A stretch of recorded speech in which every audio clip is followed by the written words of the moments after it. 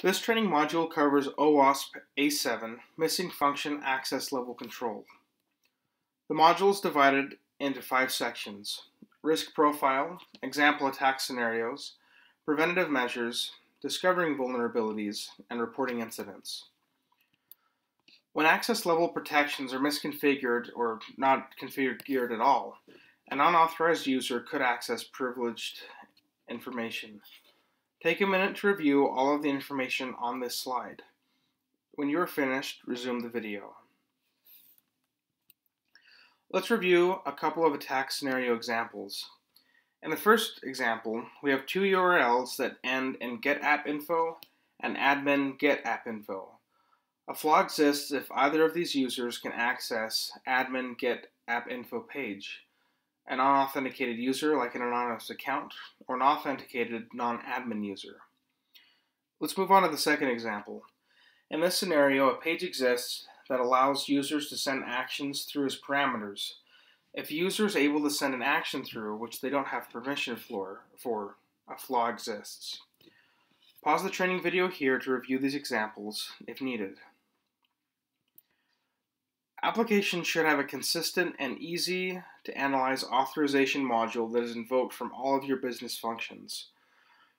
Frequently, such protection is provided by one or more components external to the application code. Think about the process for managing entitlements and ensure you can update and audit easily. Don't hard code. The enforcement mechanism or mechanisms should deny all access by default, requiring explicit grants to specific, to specific roles for access to every function. And if the function is involved in a workflow, check to make sure the conditions are in the proper state to allow access. Now note, solely not displaying links or buttons to unauthorized functions doesn't provide protection. Checks must be implemented in the controller or business logic. Detecting access level control vulnerabilities is fairly easy. The hardest part is figuring out which pages or functions are vulnerable to attack.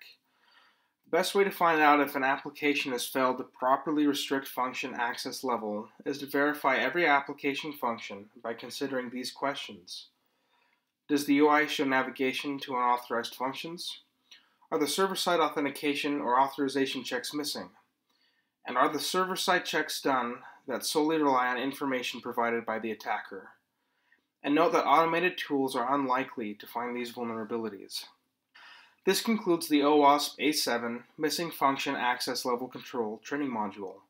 More information can be found at the links listed on this slide. Materials for this module have been derived and adapted from OWASP under the Creative Commons Attribution Share Alike license, which can be viewed at the link listed on this slide.